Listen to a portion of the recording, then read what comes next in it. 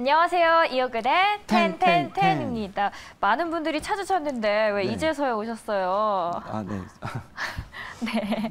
이제 오신 만큼 더 열심히 힘내서 시작을 해보도록 하겠습니다. 네. 오늘 미국 휴장을 했죠. 블랙 프라이데이였고 그래서 미국 말고 유럽 증시를 좀 둘러봤는데 분위기가 의사로 공개된 만큼 좋은 흐름 보여주고 있습니다. 이제 추수감사절 이후 연말 랠리 기대해봐도 좋을까요? 네, 그 지금 이미 이제 분위기는 많이 어, 형성이 돼 있다 이렇게 보고 있습니다. 다만 이제 이번 주가 어, 전반적으로 이제 추수감사절 그 연휴다 보니까 어, 아무래도 이 부분 때문에 이제 수급이 좀 약간 이제 공백이 생긴 것 같아요. 그래서 우리 시장도 그렇고 어, 지난 어, 이번 주에 그 미국 시장도 그렇고 어, 요 흐름이 어, 시장에서 어, 나타나다 보니까 이렇게 아주 개운한 상승은 안 나타나는데 어, 다음 주에 이제 휴가 시즌에서 이제 복귀를 하게 되면 어, 시장이 지금보다 훨씬 더 좀 탄력적으로 움직이지 않을까 이렇게 보고 있습니다. 네, 더 탄력적인 움직임의 네. 시장을 기대해 보도록 하겠습니다. 자, 오늘은 게임주의 경우에는 위믹스 네. 이슈로 인해서 종목별 차별화 장세가 이어나고 있습니다. 오늘 우리 증시도 비슷한 흐름을 보여주고 있는데 네. 종목별로 어떤 흐름들을 보여주고 있는지 만나보도록 하겠습니다. 네, 먼저 펀더멘탈 보면서 말씀을 드리도록 하겠습니다. 어, 펀더멘탈 어, 전체적으로 이제 지금 보시면 자이언트 스텝, 덱스터, 맥스트 어, 이쪽 관련주들은 뭐 대표적으로 어, 지금 그 영화의 이제 특수 효과 뭐 이런 거를 하는 회사들이죠. 어, 12월 달에 지금 아마 12월 16일로 알고 있는데 아바타 2가 드디어 이제 전 세 글로벌 전 세계에 이제 개봉이 됩니다. 아, 그렇게 되면 이제 이들 관련주들에 대한 어, 시장에 또 한번 관심이 생기지 않을까 이렇게 보고 있는데요. 어, 아무래도 이제 아바타의 그 특수 효과 이런 것들이 많이 들어가기 때문에 그렇고요.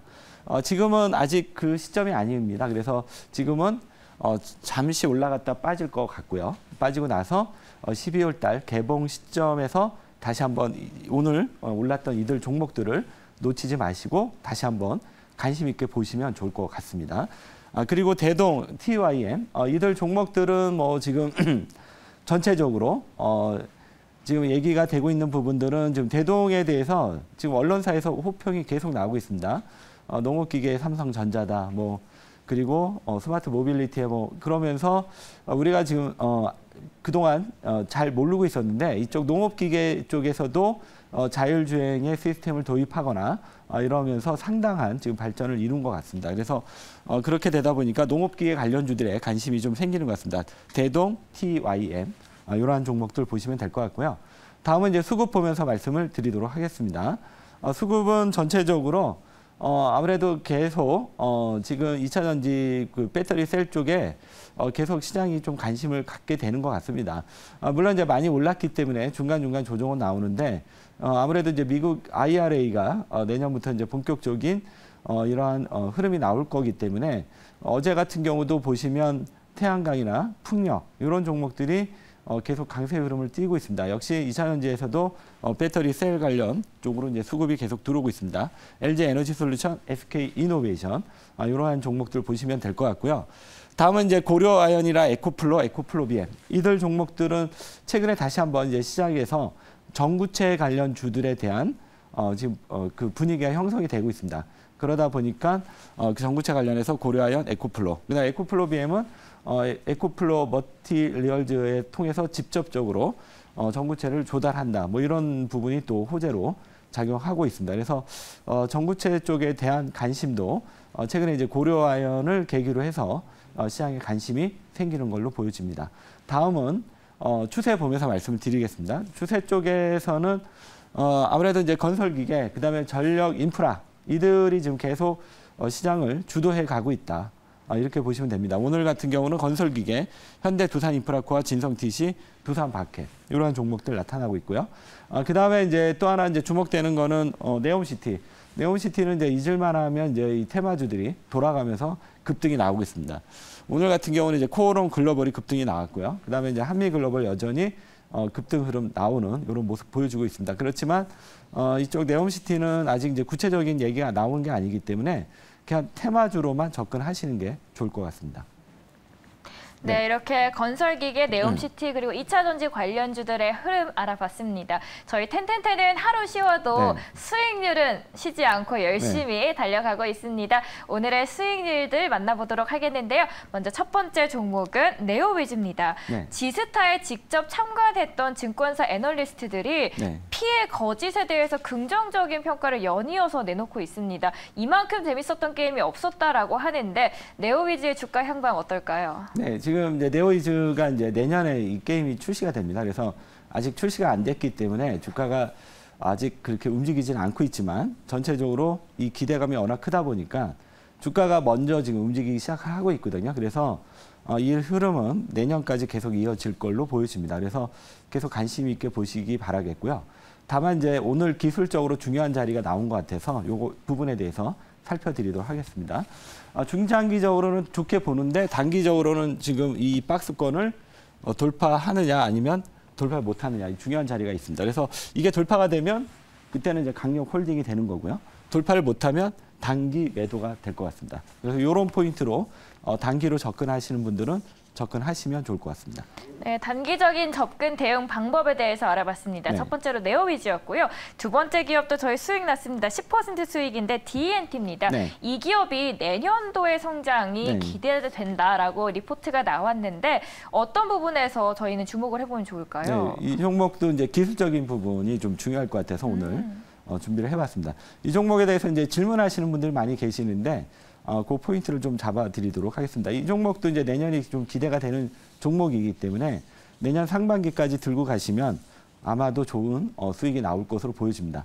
다만 이제 단기적으로 이 종목이 지금 여 안에서 지금 계속 박스권으로 가고 있습니다. 그래서 이 박스권을 돌파하면 아까 그 네오이즈랑 마찬가지로 강력 홀딩이고 만약에 이게 돌파를 못하면 단기적으로는 한번 매도를 해주는 게 좋겠습니다. 그래서 어, 다, 앞에 네오이즈나 DENT가 어, 차트가 이게 어, 상당히 비슷한 모양을 보여주고 있어서 이 종목에 대해서 어, 오늘 특- 특별히 준비를 해봤습니다. 네, D&T까지 저희 두 네. 자릿수 수익률 달성을 했습니다. 이렇게 두 종목 리뷰 도와드렸고요. 새로운 종목들 만나보러 가는 시간입니다. 오늘 어떤 종목 첫 번째 종목으로 공개해 주실 건가요? 네, 첫 번째 종목은 SK 이노베이션이요. 네. 오늘 지금 시장이 집중하고 있는 키워드가 바로 2차 전지입니다. 네. 2차 전지 안에서도 오늘 SK이노베이션 흐름 굉장히 좋거든요. 네, 네. 지금 왜냐면, 어, 예. 들어가면 되나요? 이 종목이 왜냐하면 지금 삼성 SDI도 한번 급등했고 그 다음에 LG 에너지 솔루션도 한번 어, 지금 계속 상승세 보여주고 있고 그러니까 유일하게 지금 못 오른 종목이 SK 이노베이션이죠. 그래서 이 부분이 어, 이 종목의 이제 포인트가 될 것 같고요. 물론 어, 지금 이 회사 같은 경우는 SK 온이라고 해서 어, 일단 자회사 형태로 가기 때문에 이게 이제 조금 부정적으로 작용을 하긴 합니다. 아, 그렇지만 전체적으로 어, 이 회사도 결국은 이제 배터리 셀 업체 기업으로 봐야 되는 게 맞는 것 같고요.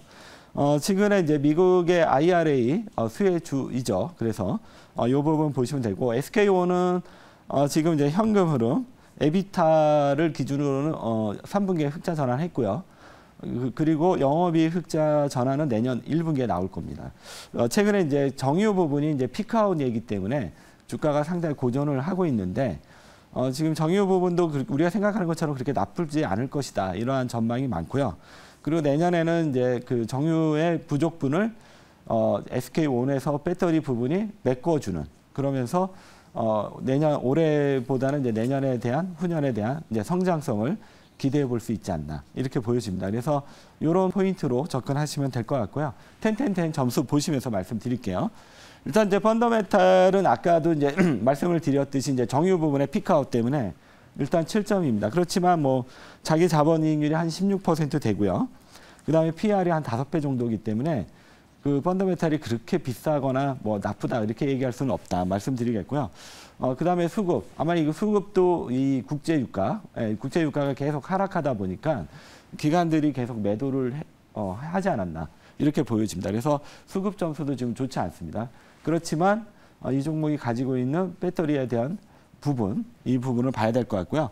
어, 추세는 이제 막 바닥에서 고개를 든다 그럴까요? 어, 이제 막 올라오려고 하는 모습입니다. 그러니까 바닥권이다 이렇게 보시면 될 것 같아요. 차트 보면서 말씀드리겠습니다.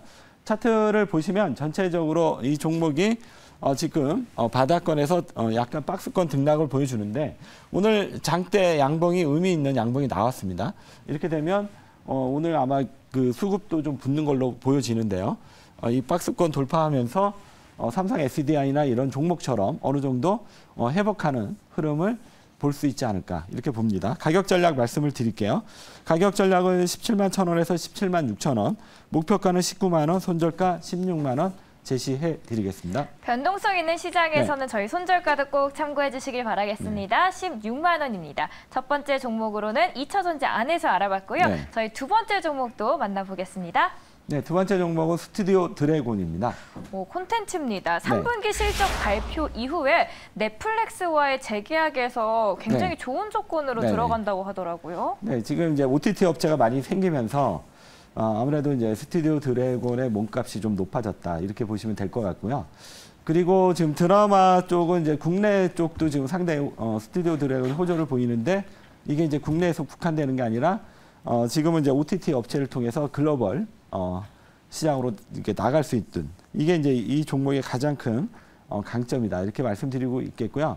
어, 최근에 뭐 어, 이러한 흐름들이 어, 상당히 특히 이제 넷플릭스가 어, 작년에 뭐 오징어 게임인가 이 부분 때문에 어, 돈을 많이 벌었다고 그러죠. 그래서 이 드라마에 대한 관심이 계속 높아지고 있고 그러면서 이제 메이저급인 어, 스튜디오 드래곤에 대한 관심도 좀 높 아지는 걸로 보시면 될 것 같고요. 그다음에 미국도 지금 단독 그 진출하려고 하는 어, 이러한 계획도 있는 걸로 알고 있습니다. 그래서 전체적으로 어, 이 부분에서 어, 지금 상당히 어, 좋은 어, 환경을 맞이하고 있다. 이렇게 보시면 될 것 같고요.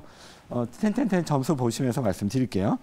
일단 음, 펀더메탈은 지금 ROE가 한 10% 어, 이 정도 되고요. 그다음에 PR이 한 28배인데 어, 뭐 성장주 치고는 그렇게 높은 수준은 아니다. 이렇게 보시면 될 것 같고요.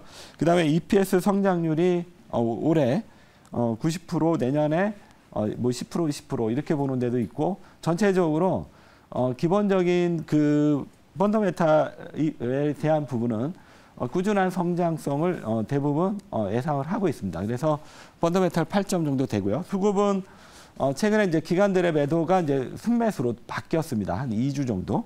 그러면서 어, 기간에 한 25만 주 정도 매수가 들어왔고요. 어, 추세, 어, 추세도 요즘 상당히 좋아지고 있습니다. 차트 보면서 말씀드릴게요. 어, 차트를 지금 보시면 이 종목은 이제 전체적으로 어, 여기서 박스권을 이제 돌파하고 지금 살짝 눌림목을 주는 모습입니다. 그래서 눌림목 이후에 어, 다시 한번 본격 상승 흐름이 기대가 됩니다. 그래서 이 종목은 눌림목을 이용한 저가 매수입니다. 가격 전략 말씀드릴게요. 매수가는 7만 3천 원에서 7만 4천 원, 목표가는 8만 1천 원, 손절가 7만 원 제시해 드리겠습니다. 네, 저희 네. 목표가 8만 1천 원 제시해 드리도록 하겠습니다. 어, 매니저님 하루 없으시니까 네. 찾으시는 분들이 굉장히 많았거든요. 네. 오늘 시청자분들의 또 응원 삼아서 네. 내일 더 건강한 모습으로 돌아오도록 하겠습니다. 지금까지 이어근의. 텐텐텐이었습니다.